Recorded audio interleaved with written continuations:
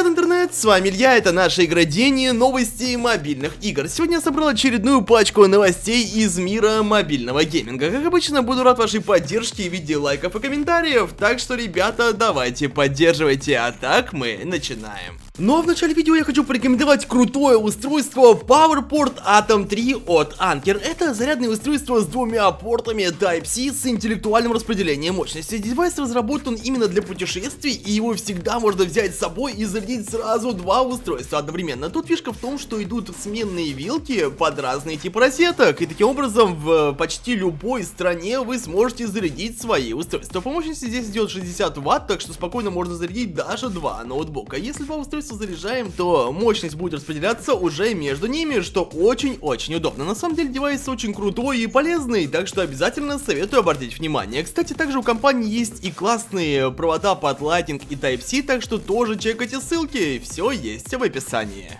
Ну что ж, переходим к играм, и первая игра на сегодня это Neighbors Back From Hell. Легендарная игра про ТВ-шоу вышла в Google Play. Здесь мы должны доставать соседа и всячески над ним подшучивать. Для этого есть множество способов, хотя с каждым уровнем, конечно же, все будет сложнее. В общем-то, ваши методы должны стать более изобретательными, чтобы выстроить правильную цепочку. Сами разработчики говорят, что концепция игры построена вокруг немецкого слова Schadenfreude, которое означает нахождение радости в чужом несчастье.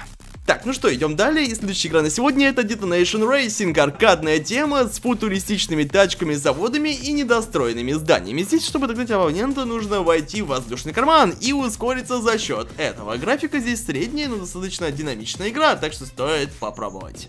Endings, новая атмосферная игрушка. Это мобильная тема, выполненная в черно-белых тонах. Игра начинается с того, что мы находимся около кровати с женщиной, которая умерла, и мы берем на себя роль духа. Она должна бежать и превозмогать смертельные головки. Проект рассказывает о том, что происходит в тот момент, когда смерть забирает нашу душу. Гарри Поттер Magic Awakening стала известна дата релиза этой игры. Это карточная игра с элементами RPG, действия которой будет происходить через несколько лет после Второй магической войны. По мере прохождения здесь мы будем собирать магические карточки, использовать их во время дуэли и так далее. Игрушка выполнена прикольно, такая интересная здесь рисовка, ну и выйдет игра уже в сентябре на iOS и Android. Tank Company Mobile начался новый тест этого танкового шедевра. Это полноценные танки на наши с вами смартфоны. Вообще, если вы знакомы с World of Tanks Blitz, то общая концепция, думаю, тут понятна. Игроки по 15 танков с каждой стороны выясняют отношения на различных локациях. Поначалу мы проходим небольшое обучение с очень крутыми заставочками в таком историческом моменте, ну а далее регаемся и выбираем один из предложенных танков. После этого мы отправляемся уже в онлайн дуэли, и здесь задача это привести свою команду к победе. Таким образом, мы не забываем поддерживать э, своих тиммейтов, сами стреляя метко, чтобы уничтожить танки соперников. Также в игре мы будем апгрейдить свой танк, улучшать его, открывать и другие танки, а также улучшать команду, обучая танкистов. Игрушку можно скачать с Телеграма, ссылочка будет в описании, так что переходите, качайте и устанавливайте. Так, ну что, ребят, на этом наш выпуск на сегодня подходит к концу, и как обычно, жду от вас лайки, комментарии, а также подписывайтесь на канал, чтобы быть в теме всех мобильных игрушек. Ну а так у микрофона был, как всегда, Илья, и скоро мы вновь увидимся. До встречи.